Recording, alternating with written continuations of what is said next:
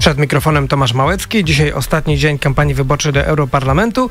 Moim gościem jest pani Angelika Możdżanowska, sekretarz stanu w Ministerstwie Inwestycji i Rozwoju, a także pełnomocnik rządu do spraw małych i średnich przedsiębiorstw. No i przede wszystkim kandydat do Europarlamentu z listy Prawa i Sprawiedliwości, miejsce numer dwa. Dzień dobry, pani minister. Dzień dobry, witam serdecznie. Witamy we wrześniu. Pierwszy raz we wrześniu, czy... E, we wrześniu jako we wrześniu, nie pierwszy raz, ale w studiu. Dziękuję za zaproszenie, pierwszy raz. Cała przyjemność po, po naszej stronie. No rzadko pani tutaj mogła bywać jako, jako posłanka, bo to okręg kaliski, my jesteśmy okręgiem konińskim. Porozmawiamy o kończącej się kampanii wyborczej. To była trudna kampania do Europarlamentu?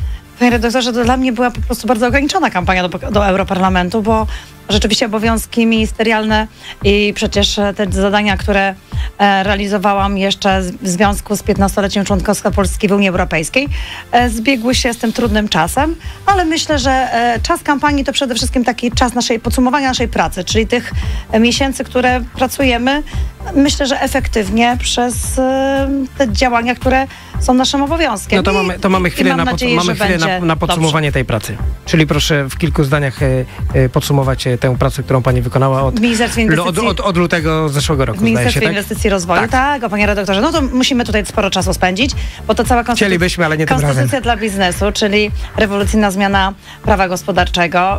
Yy, już rok funkcjonowania, 182 tysiące przedsiębiorców skorzystało chociażby z takiego rozwiązania jak ulga na start, bowiem działalność nierejestrowa, ulga na start, mały ZUS, zmniejszenie CIT-u dwukrotne, e, rozwiązania, które wprowadzały E, odpowiedź na interpelacje podatników, czyli na przykład zaliczania w koszty uzyskania przychodów, wynagrodzenia współmałżonka czy dziecka, czy cała ta likwidacja biurokratycznych obciążeń administracyjnych, ułatwienia w zakresie cyfryzacji, informatyzacji, kontakt z petentem i budowanie zaufania.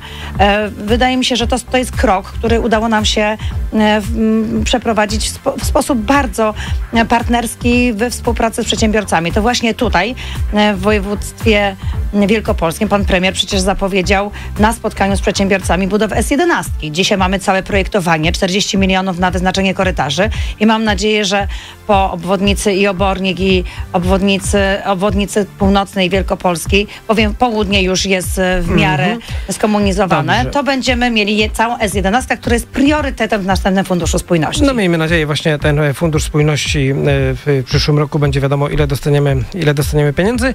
A jeszcze panie redaktorze, nie tak do końca. Przecież negocjacje trwają, a wiemy, że tak naprawdę... Ale ja nie powiedziałem, że dostaniemy mniej czy więcej, tylko ile. Ale tak. wróćmy, wróćmy do, do kampanii. Na ile miejsc liczy Prawo i Sprawiedliwość w, w tych wyborach? No, no musicie, znaczy chcielibyście na pewno zwiększyć liczbę eurodeputowanych z Wielkopolski. Bardzo by mi zależało, żeby to były dwa mandaty. Żeby to były dwa mandaty dla Wielkopolski, bowiem silny głos Wielkopolan, Wielkopolski jest potrzebny w Parlamencie jest Europejskim. Pani, jest pani pierwszą Wielkopolanką, Wielkopolanką na tej liście. E, to prawda. Y, I ja się z tego bardzo cieszę, bo dla mnie Wielkopolska to zawsze zaradność, gospodarność, y, skuteczność działania. Przypomnijmy naszym radiosłuchaczom, konkretnie południowa, e, południowa Wielkopolska. E, Ale rozwiązania dla całej Wielkopolski. No oczywiście, jesteśmy przedstawicielami, I, czy będą Państwo przedstawicielami, no nie tylko Wielkopolski, ale, ale, ale Polski. Którym miałam się okazję teraz zajmować właśnie jako pełnomocnik rządu do spraw małej i średniej przedsiębiorczości, dla mnie jest niezwykle istotny. I te wydarzenia, które ostatnio chociażby miały miejsce w Parlamencie Europejskim, jak dyrektywa transportowa, która bezpośrednio uderza w konkurencyjność polskich przedsiębiorstw, bowiem 30%, no właśnie, 30 to jest... Chciałem, chciałem zapytać właśnie o to, czy y, po tych 15 latach w Unii Europejskiej możemy powiedzieć, że nasi przedsiębiorcy są y, traktowani na równi z przedsiębiorcami francuskimi, niemieckimi, hiszpańskimi. Myślę, że tutaj jest, jest sporo y, różnic w kwestiach stosowania prawa. Dzisiaj 70% prawa jest stanowionych w Unii Europejskiej, w Parlamencie Europejskim. Oczywiście implementacja te, tych przepisów trwa, bowiem są okresy przejściowe, ale z, w konsekwencji jednak te przepisy E, uderzają e, w konkurencyjność naszych przedsiębiorstw. Tak jak wspomniałam, dyrektywę transportową, gdzie 30% właśnie to jest na rynku transportowego, to jest Polska. Ale ona, ona jeszcze nie wyszła, tak? Jeszcze, jeszcze no, będziecie walczyć. Jeszcze będziemy o nią walczyć. To tak jak walczyliśmy o dyrektywę w związku z dyrektywą tytoniową, pan redaktor sobie pewnie przypomina, ona bezpośrednio uderzyła w rynek wielkopolski i w wielkopolskich rolników. Tak, pan, pan, walczyli... pan redaktor nie pali, ale, ale przypomina, e, ale przypomina sobie. Mi, ale zawsze dla mnie to jest też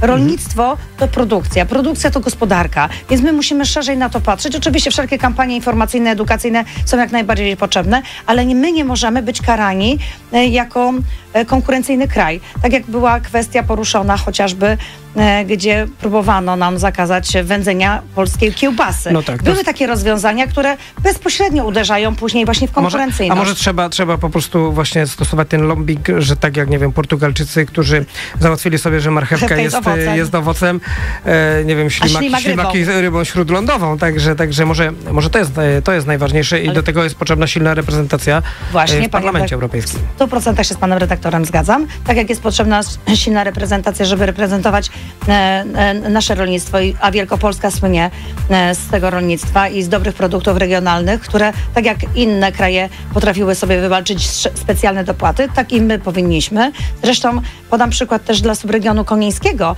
gdzie jest możliwość skorzystania i to już jesteśmy na etapie wynegocjowanym. Tam 5 miliardów euro dodatkowych środków finansowych na A to tutaj po, walkę z e, poseł, na, pa, pani, pani znajomy dawny, e, obecny terenie na pewno, ale, ale, ale z poprzedniej formacji, poseł Andrzej Grzyb też na ten temat tutaj mówił, twierdzi, że jakaś jego zasługa też w tym, Ale to jest, to jest akurat zasługa Ministerstwa Energii, e, Ministerstwa Inwestycji, które te, w tej perspektywie podczas już tych negocjacji wywalczyliśmy te rozwiązania i w kopercie krajowej jako Polska mamy miliard 400 milionów złotych i teraz e, e, e, nasze negocjacje trwają pod względem, aby te środki finansowe były dzielone przez ministerstwa, a nie przez Komisję Europejską, bo pewnie naszym przedsiębiorcom też będzie dużo sprawniej i łatwiej. Ja zresztą powiem, że jako Wielkopolanie 21 projektów już zostało za, zaopiniowanych Mhm. pozytywnie. Zbliżamy się do końca rozmowy. Czym konkretnie chciałaby się Pani zająć w Parlamencie Europejskim? W jakiej komisji chciałaby Pani pracować? Jeśli wyborcy powiedzą tak dla Angeliki Jeśli Możdżanowskiej. wyborcy powiedzą tak 26 maja, o co bardzo proszę, aby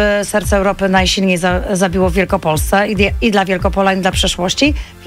Dla mnie priorytetem jest właśnie Fundusz Spójności i budowa S11. To jest kręgosłup infrastrukturalny, ale również rozwój gospodarczy dla naszych przedsiębiorców.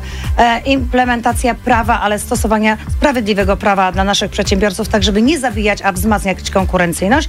I wielkopolskie rolnictwo, e, które dla mnie właśnie jest tym działem, który wymaga specjalnego wsparcia, żeby polscy rolnicy byli równie traktowani, a nie żeby czuli dysproporcje między rolnikami niemieckimi, czy francuskimi, czy włoskimi. I tym e, zajmie się albo nie zajmie. To wszystko zależy od naszych radiosłuchaczy, między innymi pani Angelika Możdżanowska w Parlamencie Europejskim w Brukseli i w Strasburgu, która była moim gościem. Przypomnę, pełnomocnik rządu do spraw małych i średnich przedsiębiorstw, przede wszystkim e, sekretarz stanu w Ministerstwie Inwestycji i Rozwoju i dwójka na liście PiSu w wyborach do Europarlamentu. Dziękuję pani bardzo. Dziękuję bardzo, życzę dobrego dnia.